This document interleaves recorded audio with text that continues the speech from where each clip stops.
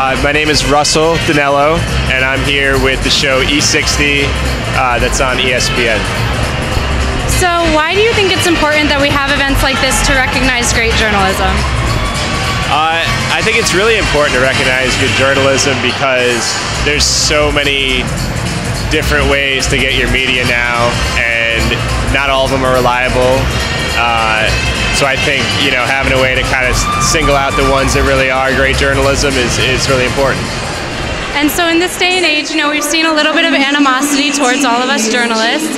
How do you think we can combat that and still work on being professional?